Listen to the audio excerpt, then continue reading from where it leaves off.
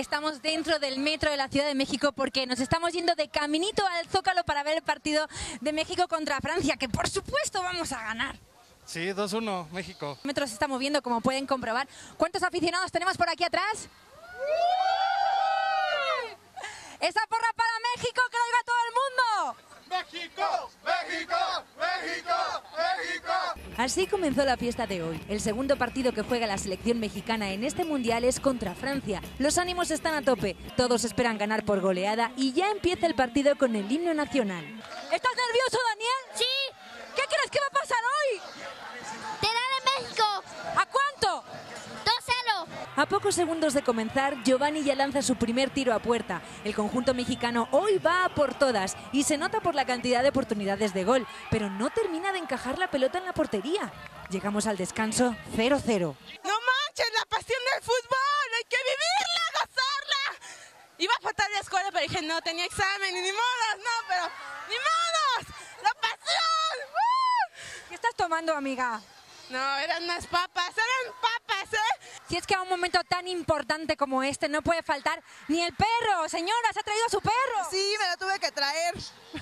Pero tan contento por lo que veo, ¿no? El perrito. Pues sí, a ver si vale la pena la pintada, ¿eh? Joxin, ¿tú a qué equipo le vas?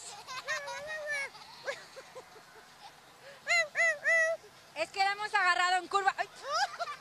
Pues así nos las gastamos aquí en el Zócaco. En el Zócaco. Comienza el segundo tiempo y en el minuto 63, Chicharito nos da la alegría.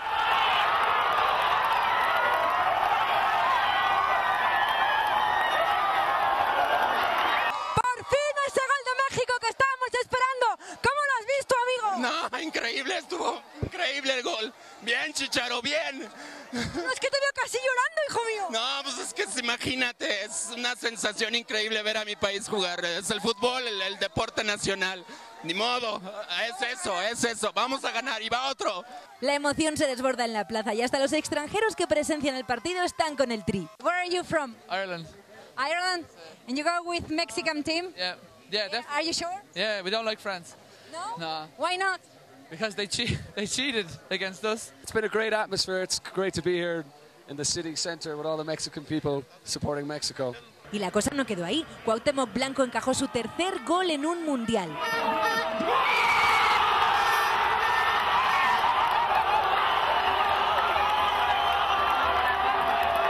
penalti ha sido gol. 2 a 0. Va ganando México. Tan emocionados que hasta nos encueramos. ¡A huevo! ¡México! El partido termina así, Francia 0, México 2. Y como es de ley, nos movemos para celebrarlo todos juntos. Ya saben dónde, ¿no? Amigos, estamos en el Ángel de la Independencia. Obviamente no nos lo podíamos perder. Y hay gente que parece que se ha salido de la oficina. No, ya. ¡México! ¡México! Va a estar difícil hablar. Ya los perdí, ya los perdí. Y desde luego no es para menos. Todo el mundo ha salido a la calle, todo el mundo ha venido al Ángel de la Independencia a celebrarlo. Incluso las gentes se han salido de sus oficinas, como estos caballeros que vienen todos trajeados. Sí, digo, hoy es fiesta nacional, hoy hicimos historia. O sea, esto es más grande que el Bicentenario. ¿Cómo crees? ¿Más incluso? Pero si solo es el segundo partido. Pero, o sea, el Mundial es cada cuatro años. Sí que es cierto, y el Bicentenario no. Pero bueno, lo importante es disfrutar del momento. ¿Y qué creen? Aparece un seguidor francés. ¿Cómo se siente usted aquí en mitad de todo este jaleo? No, pues yo vivo aquí en Guadalajara y soy muy feliz para los mexicanos que ganaron. Más bien que somos pésimos ese año, entonces... Sí, ¿no? Lo sentimos, pero no han jugado muy bien, ¿eh? Los franceses hoy. No, no tan malo, pero los mexicanos fueron me- mejores. No, México se merece una porra incluso de un francés, ¿sí o no? sí, claro que sí. ¡México! Que sí. ¡México! Campeones del mundo este año México, seguro. honesto, claro que sí. Lo que es el César al César. México vence a Francia por primera vez en la historia y se acerca a los octavos de final. La próxima y última cita de esta etapa será el martes contra Uruguay. Amigos, aquí la fiesta no termina. Todos estamos de celebración en el Ángel. Así que nos vamos a despedir para seguir celebrando. Desde la Ciudad de México, Sandra Corcora para MX24.